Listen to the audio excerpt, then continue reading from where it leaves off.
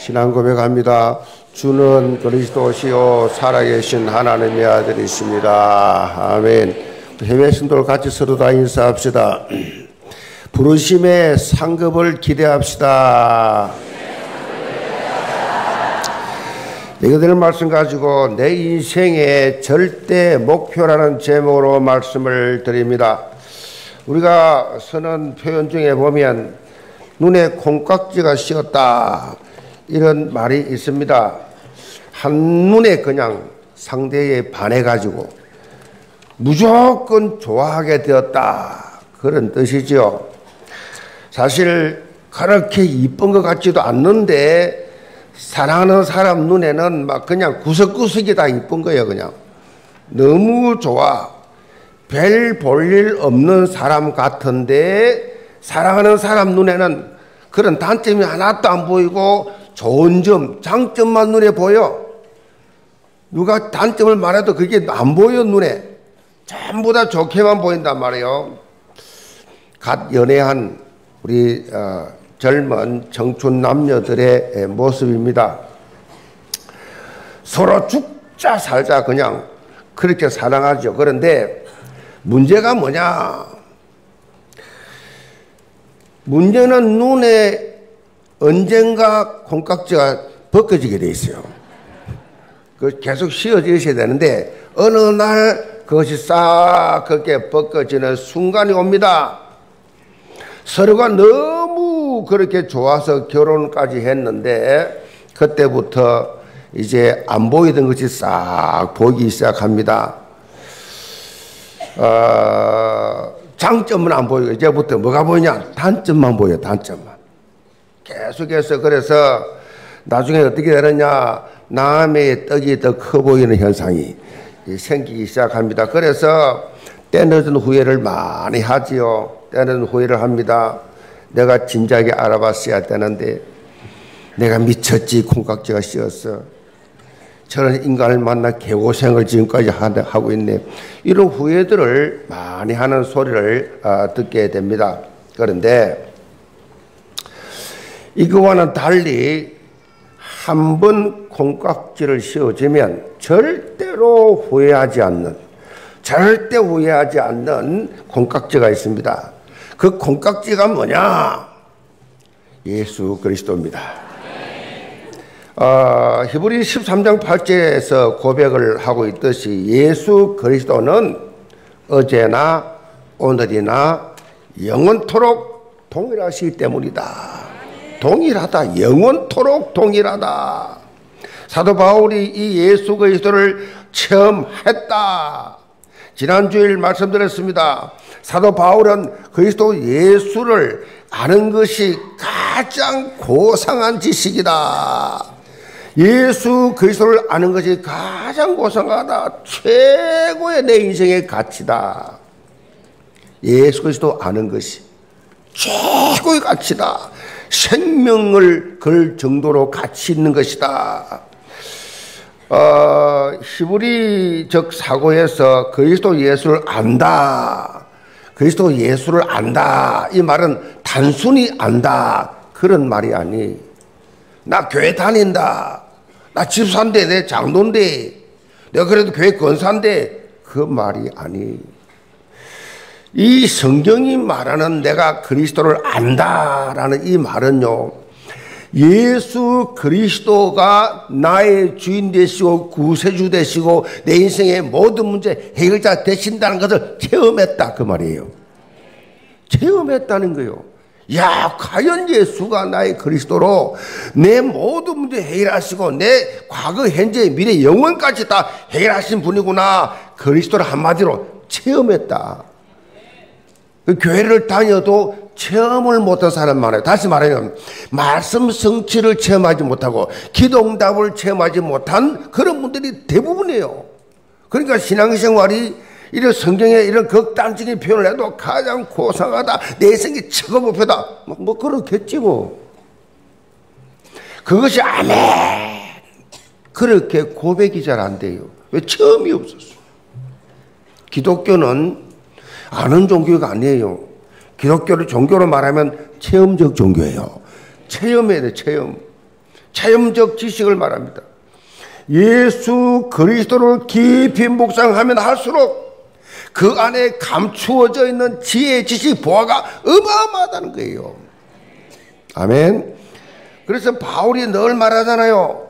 너 이 그리스도 예수 안에 있는 그 어마어마한 그 지혜와 지식의 무궁무진함을 그 높이와 깊이와 길이와 넓이를 한번 체험해봐라. 막연하게 교회 다니지 말고. 자, 이 그리스도 예수와 함께 하니까 그 어떤 것도 바울에게는 뭐요? 문제가 되지 않니. 막 감옥에 가도 괜찮고 두대를 맞아도 괜찮고 핍박을 받아도 괜찮고 무식한 소리 들어도 괜찮고 무슨 손해를 받아도 괜찮고 그래도 예수를 체험하고 그분과 함께 하니까 우리 영계 모든 성도들 그리스도 예수라는 이 콩깍지에 씌어져 가지고 그 어떤 상황 속에서도 흔들리지 않는 삶을 사시 바랍니다. 흔들리지 마세요. 뭐 언제나 뭐 그렇게 기도 많이 하더니 언제나 헌신을 많이 하더니 언제나 교회를 그렇게 사랑하더니 언제부터인가 식어져 가지고 맛이 갔어 그냥. 응? 누가 봐도 갔어. 그런 그건 처음부터 잘못된 거 아니에요. 제가 처음한 이 예수 그리스도, 제가 처음한 이 성령의 역사는요. 모태로부터 신앙생활 하면서 어느 날 이 성, 하나님의 살아계심과 예수 그리스도를 체험한 이후에 지금까지. 그래서, 아, 그렇구나. 날마다 날로 날로 새롭도단 말이 이 말이구나. 독수리 날개치며 창고 올라가듯이 성장하는 것이 이 말이구나. 아멘.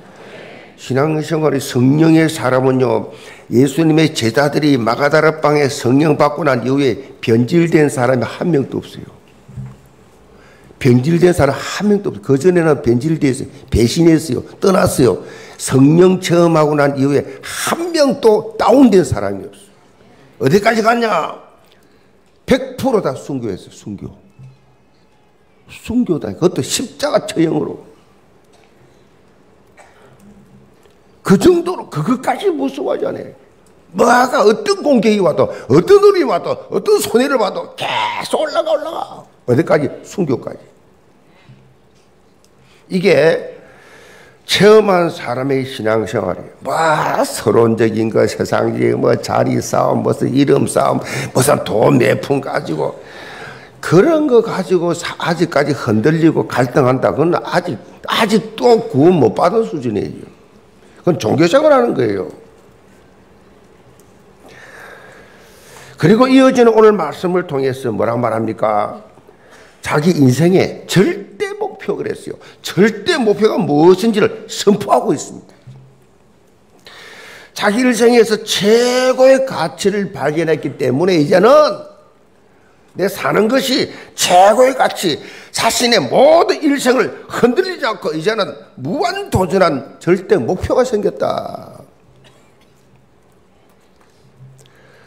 우리 영계 성도들 사도 바울이 어떤 절대 목표를 세우고 믿음에 도전했는지 오늘 말씀을 통해서 답을 얻고 여호와의 뜻만이 온전히 세워지는데 올인 집중하는 삶을 사시기를 제문으로 축복합니다. 그럼 첫째로 그리스도 예수께 붙잡힌 삶이에요. 10절입니다. 내가 그리스도와 그 부활의 권능과 그 고난의 참여함을 알고자 하여 그의 죽으심을 본받아 어떻게 하시든지 죽은 자들 가운데서 부활에 이르라 하노니 내가 이미 얻었다 함도 아니요 온전히 이루었다 함도 아니라 오직 내가 그리스도 예수께 잡힌 바 된 그것을 잡으려고 달려가노라. 어, 사도 바울은 자기 인생의 절대 목표가 그리스도 예수께 붙잡힌 삶을 사는 것이라고 발, 밝히고 있어요. 내 삶의 절대 목표는 그리스도께 잡힌 삶이다. 그리스도께 잡힌 삶. 오직 내가 그리스도 예수께 붙잡힌 잡, 잡힌 바 된 그것을 잡으려고 뭐 잡으려고 잡힌 바 된 그것을 잡으려고 그리스도가 나를 잡은 그 붙잡힌 바 된 그걸 잡으려고 내가 달려간다. 그 신앙생활의 자세. 다메섹 길거리에서 부활하신 예수 그리스도를 직접 갑자기 만난 이 바울의 이 자세. 예수 그리스도께 잡아된 그 상태가 되었다. 나는 예수에 잡혀버렸다, 이제는. 이 그리스도인이에요. 성도 여러분, 그리스도께 잡힌 자 되기 바랍니다. 나 잡혀버렸어. 그리스도에게 잡혀버렸어.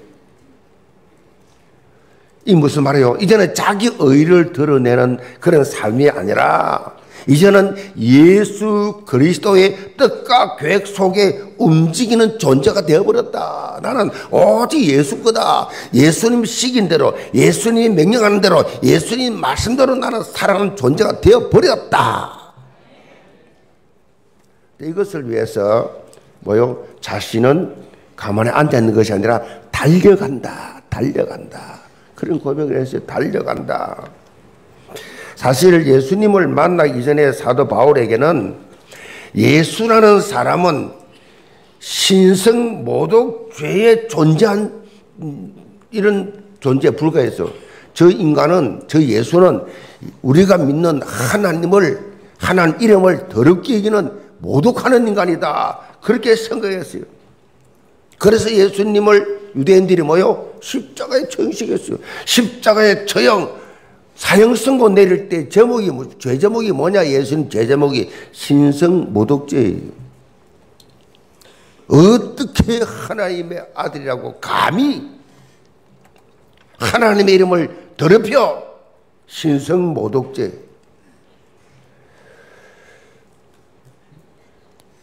그래서 따라서 예수 믿는 사람들도 예수처럼 신성 모독죄 걸려요. 그래서 바울 입장에서 볼 때는 예수나 예수 믿는 놈이나 누구든지 다 신성 모독죄로 다 잡아가지고 죽이는 것이 가두는 것이 당연한 것이다 생각했어.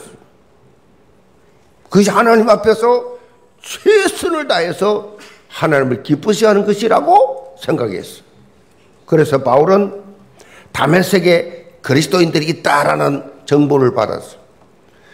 거기에 예수 믿는 인간들이 있다. 예수 믿는 들을 잡기 위해서 대제사장에게 이제는 이 공문을 받았습니다. 허가서를 받았어. 그래가지고 이 체포조들이 구성돼 가지고 다메섹으로 예수 믿는 것들을 체포하기 위해서 가고 있었어요.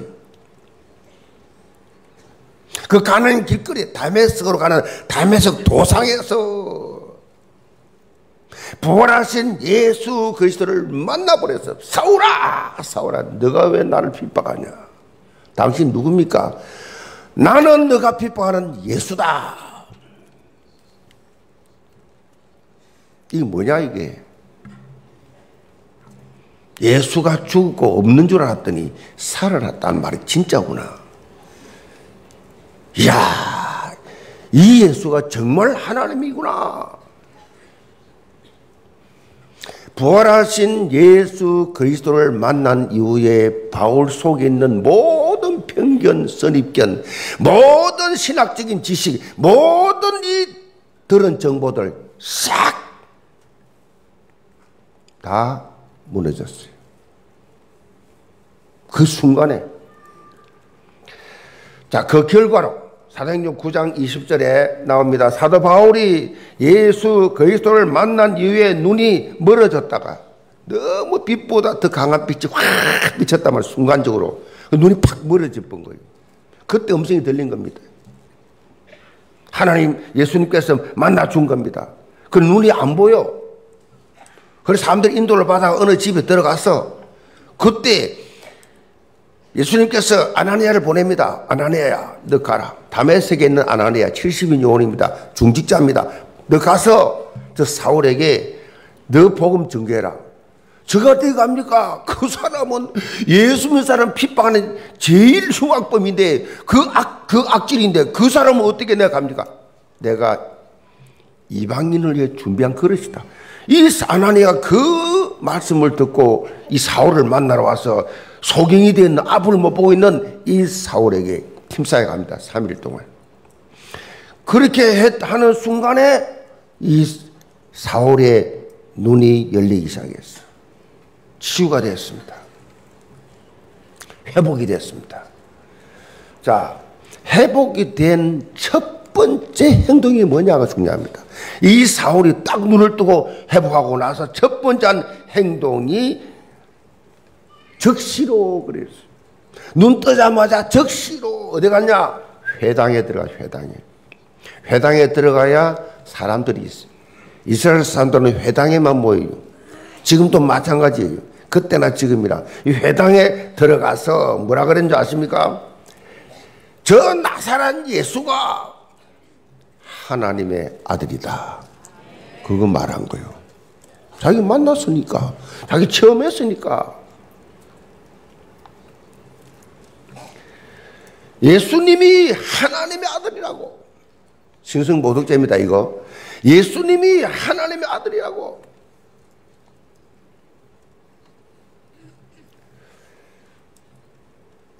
그 누구보다도 분노를 가졌던 이 바울이 이제는 이제는 예수님이 하나님의 아들이라고 당당하게 고백합니다. 왜 복음을 증가하지 못하느냐? 복음의 기중성을 몰라서 그래요. 복음이 어마어마한 축복인 걸 몰라서 그래요. 복음이면 다 끝난다는 사실을 체험하지 못해서 그래요. 전도는 하라가 아니에요. 전도는 되어지는 게 정상이에요. 바울이 누가 하라 했습니까? 만나고 난 이후에 그야말로 바로 들어갑니다. 그 자리, 그 들어간 거 위험한 자리예요. 당장 맞아 죽을 자리입니다. 말도 안 되는 자리입니다. 지가 했던 짓을 보면 그대로 그냥 체포되는 자리예요. 예수님이 하나님의 아들이라고. 하나님의 아들이라는 말이 무슨 말이에요? 예수님이 하나님의 아들이라 이 말이 무슨 말이냐고요? 예수님은 하나님이란 거예요. 왜 그래요? 사람의 아들은 사람이에요. 그렇죠? 사람의 아들은 사람이고 하나님의 아들은 하나님이에요. 예수님을 하나님의 아들이라고 말하는 이유가 뭐냐? 하나님이란 거예요, 지금. 그 고백을, 그 전도를 지금 바울이 회당 안에 들어가서 유대인들밖에 없는 그 회당 안에 들어가서 외치고 있는 겁니다. 자, 이어지는 22절에는 사울이 힘을 더 얻어, 힘을 더 얻어 예수가 그리스도라고 정언했습니다. 이제 예수님이 그리스도다. 자, 이것은 다메섹에 사는 유대인들에게요, 너무 기가 막힌 당혹감을 주는 고백. 아니, 우리 유대인을 대표하는 사울이 갑자기 지금 저렇게 사람이 어느 순간에 변할 수가 있냐? 좀 미쳤다 저거. 바울 잡아라, 죽여라. 체포조가 구성됐어요. 이제 반대가 됐어요. 예수 잡으러 가던 이 바, 울이 이제는 자기가 잡힐 상황이 됐어요. 그, 그, 그 막, 일순간에 일어난 거예요. 3일 만에. 그만큼 사도 바울의 변화라는 것은 큰 충격을 줬습니다. 유대인들에게. 이런 회심과 변화 이후에 사도 바울이 지속적으로 예수 그리스도를 알기를 원했어요. 부활하신 예수를 만난 이후에 예수를 알고 싶어서 다메섹에서 발생한 이 사건 이후에 30년이 지난 지금도 사도로서 이 복음을 전 세계로 증가하고 있는 이 순간 30년이 지난 지금도 이 바울의 고백이 뭐냐? 그리스도를 알고 싶다는 겁니다. 엄청나게 점했는데, 엄청나게 전됐는데, 이 말씀의 핵심이 뭐요? 뭘 알고 싶다는 겁니까? 부활하신 예수님과 더 깊은 소통 속으로 들어가고 싶다라는 고백이에요. 신앙생활이 지겹습니까? 교회를 오래 다니니까 막 그게 그거 같습니까? 찬송을 불러도 감동이 없고 기도를 해도 그냥 그냥 그냥 지루하고 할 기도도 없고 그렇습니까? 성경이 말하는 복음과 믿음은 그런 게 아닌데요. 30년 동안 복음을 생명으로 증거한 바울에게 소원이 뭐냐? 예수와 더 깊이 소통하고 싶다는 겁니다. 사실 우리가 생각해 보면 사도 바울만큼 예수님과 소통 깊었던 인물이 없어요. 바울만큼 깊은 그 심지어 그 천국 삼천천까지 그렇게 다녀올 정도로 그렇게 체험한 분이 없어요. 예수님과 그렇게 깊이 체험했는데, 근데 바울이 이런 고백하는 것은요, 그만큼 예수 그리스도 안에 감추어진 비밀이 얼마나 많은가 그 말이에요. 영적인 비밀이 얼마나 많은가, 얼마나 크고 놀라운가를 보여주는 거예요. 특별히 우리가 보아야 할 것은요, 사도 바울이 그리스도의 부활을 먼저 언급한 후에 그리스도의 고난을 말합니다. 부활을 먼저 언급한 후에 고난을 말하는데 일반적으로 그래서 고난을 먼저 언급한 후에 부활을 그렇게 말하잖아요. 이 정반대예요. 정반대로 바울은 말해요. 왜 이렇게 말합니까? 그 말한 이유가 뭐예요? 바로 부활의 권능을 힘입어야 그리스도의 고난에 동참할 수 있다는 거예요. 이 부활이라고 하는 이 체험이, 이 믿음이 있어야, 있어야 어떤 고난이 와도 이길 수 있다는 겁니다. 부활 신앙이 앞서야 돼요. 그리스도가 부활하셨다. 부활이 뭐요? 우리에게 영원한 생명 주신, 영생 주신 거예요. 영원한 생명 주신 이것이 믿음 있어야 그 헌신도, 그 어려움도 다 극복할 수 있다. 그리스도 예수께 붙잡힌 삶은 부활의 권능을 힘입을 때, 부활의 권능을 체험했을 때 이루어집니다. 왜 신앙생활이 희미하냐? 부활 신앙 체험 못해서 그래요. 그리스도가 지금 나와 함께 내 머리칼도 다 세시고 내 일에 쓰고 앉는 것도 간섭하시고 내 길 인도하신다라는 걸 체험하지 못해서 그래요. 실제로는 같이 계시는데 본인이 믿음이 없어서 체험이 안 돼. 다른 데 신경 쓰느라고. 자, 지금까지 자신은 부활의 권능을 힘입어서 사역을 해왔고, 앞으로도 그 힘의 능력으로 사역할 것이다. 라는 얘기예요. 부활의 권능이란 것은요, 부활하셔서 지금 우리 삶 속에 역사하시는 뭐요? 그리스도의 능력을 말합니다. 예수가 부활했다 말은 나와 직접 관계가 돼야 돼요. 예수 그리스도의 부활이 뭐냐? 그리스도의 그 부활의 능력이 나와 지금 함께 하신다. 그래서 신앙생활은요, 하나님 주신 직분들은요, 내 힘으로, 내 머리로 하는 게 아니에요. 부활하신 그분이 주신 힘으로 하는 거예요. 그래서 아무 힘든 게 없어요. 어려운 게 없어요. 아, 나 직분이 너무 힘들어. 부활하신 지금 나와 함께 계시는 그분의 힘으로 하면 될 텐데, 자기가 한다 하니까 힘들잖아요. 얼마나 힘들어요. 육신적으로 영의 일을 하려고 그러니까 얼마나 병들냐고요. 얼마나 고생스럽고 날 인상 쓰고 다니고 힘들어가지고 다른 교회 우리 교회는 인상 쓰면 덜, 덜켜요 덜켜 우리 교회는 인상 쓰고 화내고 막 그냥 고집 피우면 아 이 사람 치유받아야 되겠구나 그리스도 결론 안 났구나 아직도 이분은 부활의 능력으로 하는 일이 아니구나 자기 의로 하구나 들킨 진단이 쫙 나와버려 그냥 1, 2, 3, 4, 5, 6, 7, 8, 9, 10 쫙. 금방 나와버려요. 부활하신 그분이 주의 힘으로 하시 바랍니다. 그러니까 항상 기쁘고 기쁘도다. 바울이 늘 항상 기뻐해라. 바울이 지금 어디서 말합니까? 지금 복음 전하다 감옥에서 그 지금 하는 말이에요. 항상 기뻐해라. 뭐 네가 하냐 내가 하냐 주님 부활하신 그분이 주신 힘으로 하는 거 아니냐. 아멘. 우리 영계 모든 성도들이 모이면 천국 되기 바랍니다.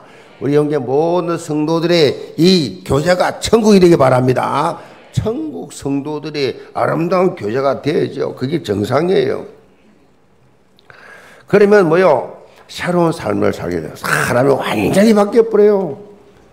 옛날에 만났던 사람들 볼때, 이, 뭐, 이, 도대체 이해가 안 될 정도로 완전히 부활의 능력은요, 살리는 능력이에요. 사람을 죽이는 게 아니요 살리는 능력. 참 소망과 삶을 주는 힘이 이것이 나와요. 이런 부활의 권능을 체험한 한 자는요, 사도 바울처럼 어떤 환경 속에도 확신 있고 낙심하지 않아요. 낙심할 게 뭐가 있어요? 실망, 자살, 시험 들 게 뭐가 있어요? 없습니다. 전혀 그런 거 다 패스하고 다 넘어갈 수 있어.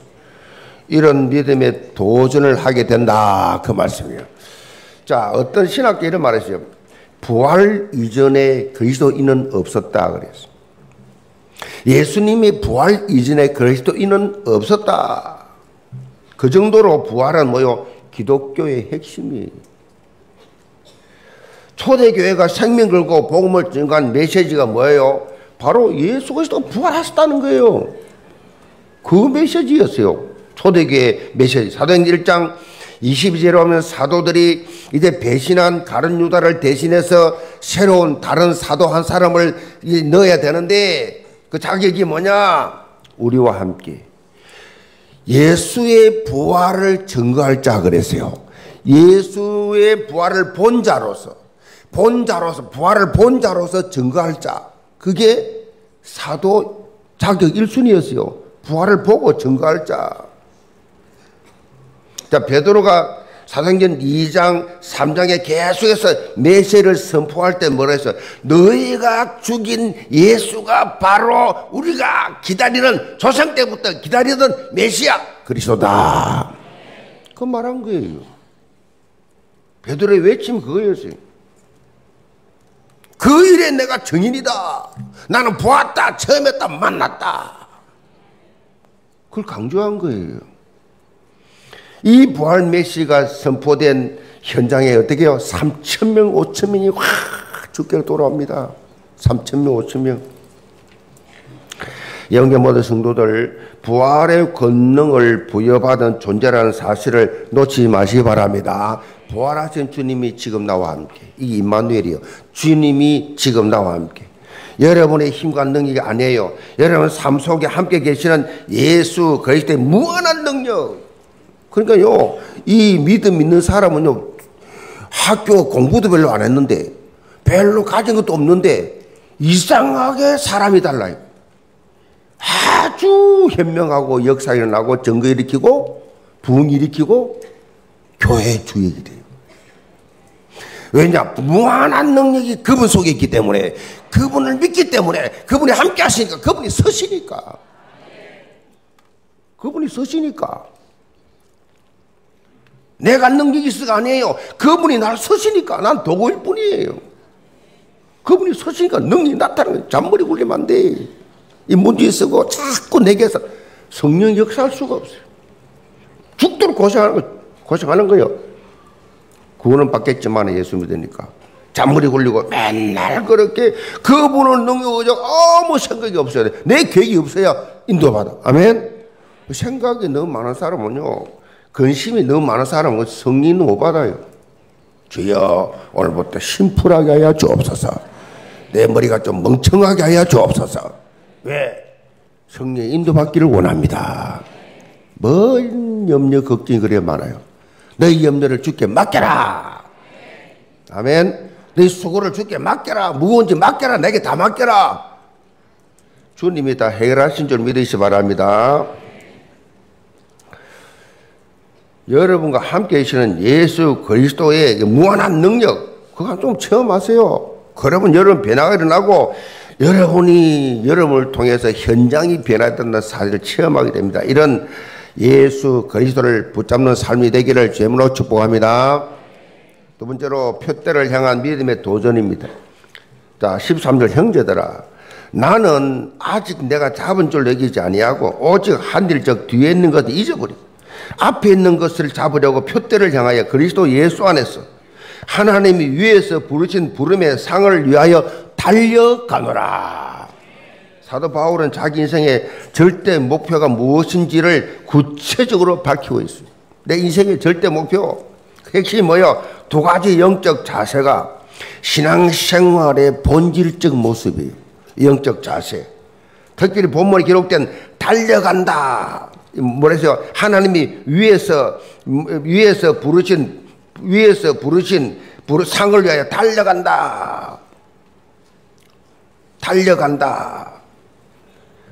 여기 보니까요. 하나님 위에서 부르신 부름에 상 그래 놓고 달려간다. 알아간다. 그런 두 가지 말이 나왔어요. 자, 달려간다 이 말은 단순히 뭐요? 달려간다. 그 말이 아니에요. 여기서 말하는 것은요. 어느 정도 말하냐. 100m 달리기를 하는데 100m 달리기를 막 달리는데 100m 달리는 선수가 얼마나 열, 최선을 다합니까? 그때는 옆에 이렇게 보지 않아요. 앞만 딱 뽑아요. 목표점, 목표, 목표. 꼬리는 현장만 보고 달리는 100m는, 뭐 500m는 1000m는 1000m, 뭐 조금 옆에 볼 수 있어요. 100m는 그게 아니에요. 100m 앞만 딱 보고 쫙 달려요. 10초 이내 10초. 10초 전후입니다. 그러니까 뭐 옆에 볼 것도 없어. 쫙 100m 선수가 오직 결승증만을 바라보고 달리는 자세. 여기서 말하는 바울의 자세요. 달려간다.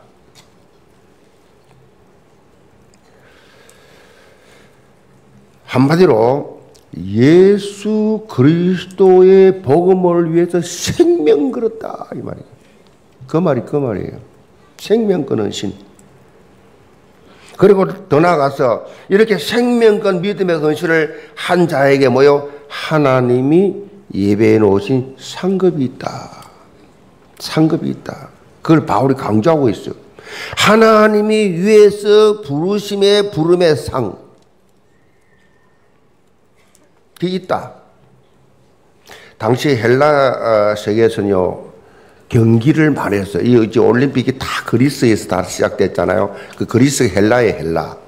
그리스 헬라 문화입니다. 거기에 시작된 거예요. 그래서 지금도 마찬가지 올림픽도 다 그리스에 시작된 거든. 그 그리스 헬라 문화에 거기서 있었던 그 경기를 많이 했는데 경기 때마다 수상자 이름을 부르면 수상자는 이 높은 높은 당상에 올라가서 뭘 받느냐 월계관을 받았어.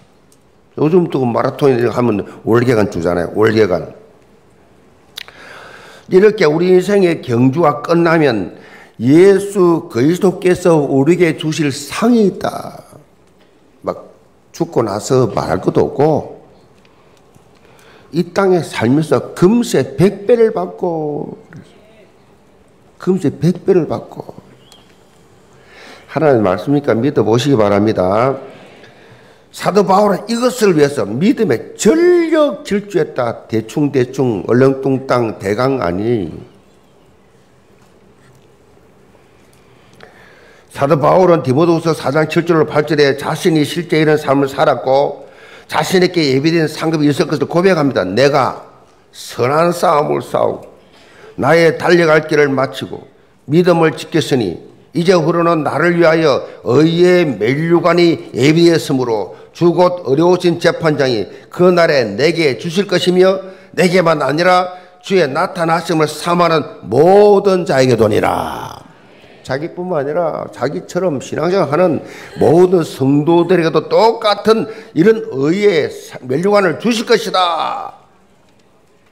바울뿐만 아니라 예언교회를 하나님이 세우시고 직분을 맡아서 헌신한 모두에게 부르심의 상이 예배되어 있다.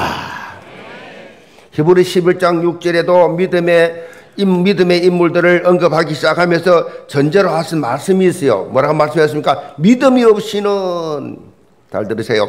믿음이 없이는 하나님을 기쁘시게 못하나니. 하나님께 나간 자는 반드시 그가 계신 것과 또한 그를 찾는 자에게 상 주시심을 믿어야 할지니라. 믿으시. 믿음으로 시작해서 믿음을 끝나야 돼. 믿음 반대는 불신입니다. 불신앙입니다. 믿어, 믿어, 믿음으로, 믿음으로, 믿음이 없으면 하나님을 기쁘심을 한다. 사단은 못 믿게 만들어요. 의심하게 만들어요. 불신하게 만들어요. 계속해서 다른 생각하게 만들어요. 믿음이 없이는 조금 배웠다고, 조금 가졌다고, 조금 성공했다고 금방을 떨어. 믿음이 없어. 저는요, 크게 성공한 사람들, 그냥 잘난 사람들, 믿음 없는 사람 별로 못 봤어. 그거 가졌다고, 그거 좀 있다. 그 아무것도 아니고 배설물인데, 그게 최고인 줄 알고. 덩신 바보 쪼다들. 그게 최고인 줄 알아요? 그게 돈 그게 최고. 성공 출세 그게 아이고.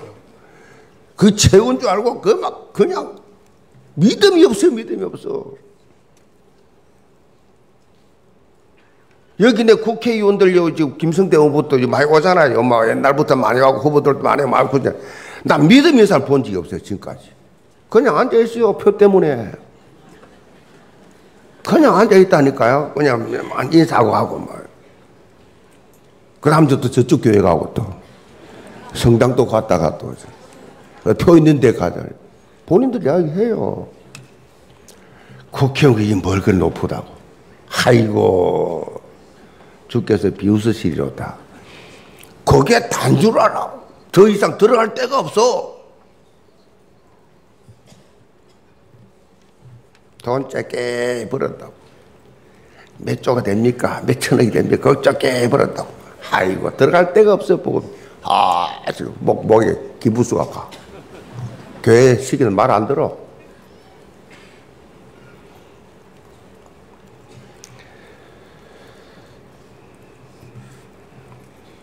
저는 그런 거 볼 때마다 참, 저거 언젠가 다 없어지는데,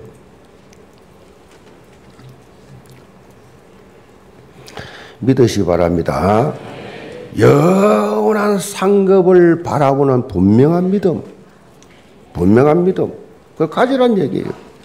사도 바울은 오늘 본문을 통해서 이런 부르심의 상을 위해서 우선적으로 해야 될 것이 뭐냐? 13절을 밝히고 있어요. 형제들아, 나는 아직 내가 자본줄 여기지 아니하고 오직 한일적 뒤에 있는 것을 잊어버리고 앞에 있는 것을 잡으려고 그랬어요. 뒤에 거 지금까지 내가 뭐 어떻게 살았다 강이 났으면 다 잊어버리고 앞에 있는 것을 잡으려고 앞에 있는 걸 잡으려고 늘 갈급한 마음이지요 늘 갈급 은혜 받으려고 아, 예배 시간 기다리지요 아, 직분 따라 벌벌 떨면서 감당하죠 아, 앞에 있는 걸 잡으려고 예수 그리스도의 십자가 대속과 부활의 능력을 체험한 사람은 더 이상 과거에 잡히지 않습니다. 과거에 매여 있지 않는단 말이에요. 누가 보면 9장 62절에 손에 전기를 잡고 뒤를 돌아보는 자는 하나님의 나라에 합당하지 아니하니라. 말씀했어요. 뒤돌아보지 마라. 히브리 10장 38절 보면 나의 의인은 믿음으로 말미암아 살리라. 또한 뒤로 물러가면 내 마음이 그를 기뻐하지 아니하리라. 뒤로 물러가 버려. 물러가지 마라. 옛날로 또 돌아가 버려. 과거에 집착하게 되면요. 성장을 거둘 수가 없어요. 과거 인생은요. 우리는 과거에 성공한 것 가지고 그렇게 그거 붙들고 교만할 필요 없어요. 과거에 내가 옛날에 왕년에 과거에 실패한 거 가지고 또 자질할 필요도 없어요. 과거에 잘 나갔던 것, 성공했던 거 가지고 교만할 필요도 없고, 과거에 실패하고 잘못된 거 가지고 그가 기죽을 필요 없어요. 좌절할 필요 없다고요.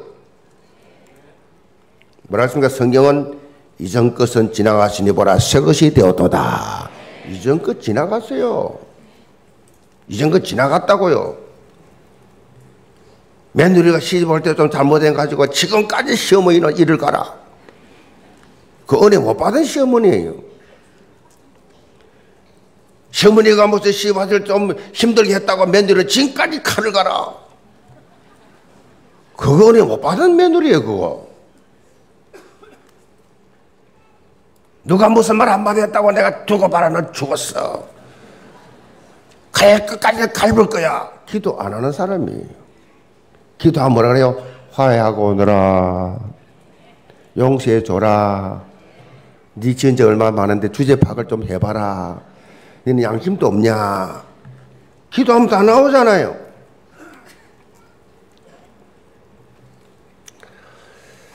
과거에 집착하게 되면요, 성장이 못 됩니다. 우리는 성공한 것을 붙들고 교만할 필요도, 과거에 실패한 것을 붙들고 자수할 필요도 없습니다. 이제는, 이전 것은 지나갔습니다. 더 이상 과거에 잡혀 살지 말고, 새로운 피조물로 재창조를 통해 하나님의 형상을 회복하는 존재로서 지금 지금과 앞으로의 삶을 중요하게 바라보시 바랍니다. 지금 지금이 중요해 지금 미래가 중요합니다.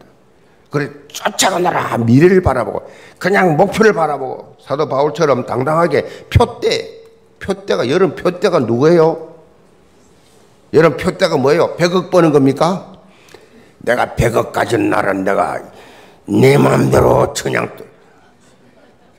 천억입니까? 내 목표가 뭡니까? 내 인생의 목표가 내가 요거 완전히 요거 내가 요까지 내가 내 인생할 그것입니까? 천만의 말씀 그 전에 다 죽어요. 그 전에 다 망해. 여러분 인생 목표가 예수 그리스도 되시 바랍니다. 예수 그리스도를 향해서 하나님이 부르신 부름의 상을 위하여 믿음의 무한 도전하시기를 주님으로 축복합니다. 결론입니다. 김우중 전 대우그룹 회장 지난주에 별세했습니다. 자본금 500만 원 가지고 어, 시작을 했는데 우리나라 재계 순위 2위까지 그렇게 어, 오를 정도로 엄청난 성장을 이루었습니다. 세계는 넓고 할 일은 많다라는 책을 썼는데 최단 기간에 100만 부를 그렇게 팔릴 정도로 어, 정말 유명했습니다. 역사는 꿈꾸는 자의 것이다 주장하면서 세계 경영 수출 신화를 선 주역입니다. 그런데 외환위기가 닥치니까 대그룹은 파산했습니다.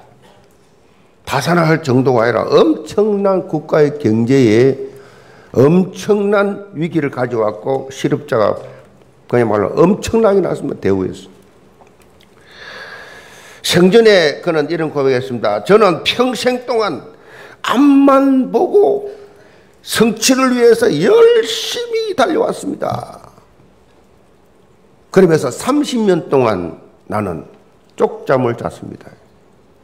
그냥 공항에서, 그냥 대합실에서, 그 비행기에서 그냥 쪽잠을 잤습니다. 30년 동안. 1년에 3분의 1을 해외 개발을 위해서 해외 다닐 정도로 그렇게 열심히 했습니다. 그가 고백한 것은 평생, 내 평생 사업 성취를 위해서 그렇게 열심히 달려왔습니다. 그리고 고백했어요. 우리도 또 아는 사실이에요. 그분이 얼마나 열심히 한가를 우리 나이들은 다 알아요. 그 사람이 얼마나 정말 열심히 했는지. 신화 같은 존재예요. 그런데 결과가 뭐예요? 결과는 부도입니다. 빚더미입니다. 파산입니다. 성도 여러분. 제가 왜 이 말씀드립니까? 일평생 앞만 보고 성취를 위해 열심히 달려온 것보다 표대가 뭐냐는 얘기예요. 왜 달리느냐는 얘기예요. 뭘 보고 달리는 얘기예요. 표대가 뭐냐가 더 중요합니다. 장세기 3장 나 중심 상세 11장 6장 물질 성공 중심으로 열심히 달리지요. 불신자들은 이 표대는요. 이 표대는 무너집니다. 다 무너집니다. 안 무너진 사람이 없어요. 다 무너져. 우리는 영원히 무너지지 않는 오직 그리스도, 오직 하나님 나라, 오직 성령 충만. 이 표대가 되어야 돼요. 성령의 능력을 힘입어서 오직 그리스도를 전파하면서 오직 하나님의 나라를 확장해 나가는 그것이 내 인생의 절대 목표다. 하나님이 올해 내게 맡긴 직분, 하나님 나라를 위해서 하나님의 몸된 교회에서 주신 이 직분, 내 인생의 절대 목표다. 그 평생 인생 작품이 돼야 돼요. 올인 안 하면 작품 안 나옵니다. 작품이 뭐예요? 누구에게나 간정할 수 있는 자랑거리. 누구나 은혜 받을 수 있는 그런 간정. 그거는요, 100m 달리기 하는 선수가 목표를 향해서 꼬린점을 해서 달리지, 달리는 자세 가지 않으면 작품 안 나옵니다. 평생 자랑할 수 있는, 이 예원교회 역사에 남을 수 있는 이름. 오직 그리스도, 오직 하나님 나라, 오직 성충만 아니면 이거 안 나옵니다. 이 언약 붙잡고 인생 목표를 정하시기 바랍니다. 그래서 하나님이 부르신 부름의 상을 위해서 믿음의 무한도전에서 무너지지 않는 영원한 상급 받기를 제문으로 축복합니다. 기도합시다. 아버지 하나님, 우리 예언계 모든 성도들 올해가 다가기 전에 정말로 인생 절대 목표를 확실하게 정하는 시간표가 하여 주옵소서. 사도 바울처럼 부활하신 주님과 함께 부름의 상을 위하여 달려가는 이런 확실한 믿음을 가지는 하나님의 사람들을 다 되게 하여 주옵소서. 예수 좀 받들어 기도합나이다. 아멘.